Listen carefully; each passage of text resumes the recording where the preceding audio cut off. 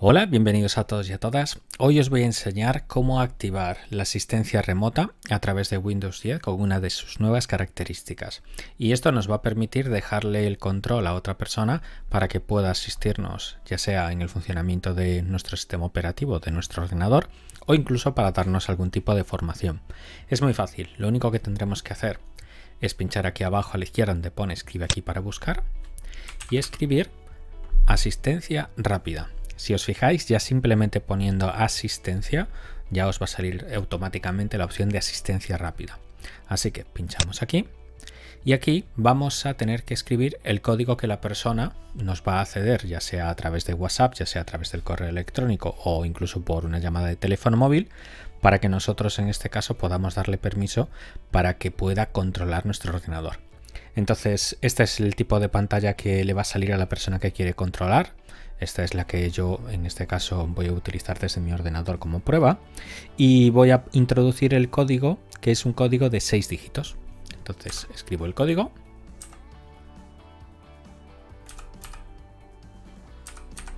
Y simplemente tengo que pinchar en compartir pantalla.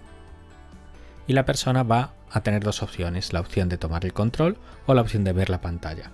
En este caso simplemente vamos a darle a aceptar, continuar y así yo tomaría el control de este otro ordenador de este equipo.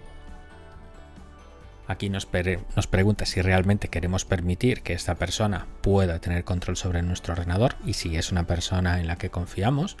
Y una vez decimos que sí, le damos a permitir.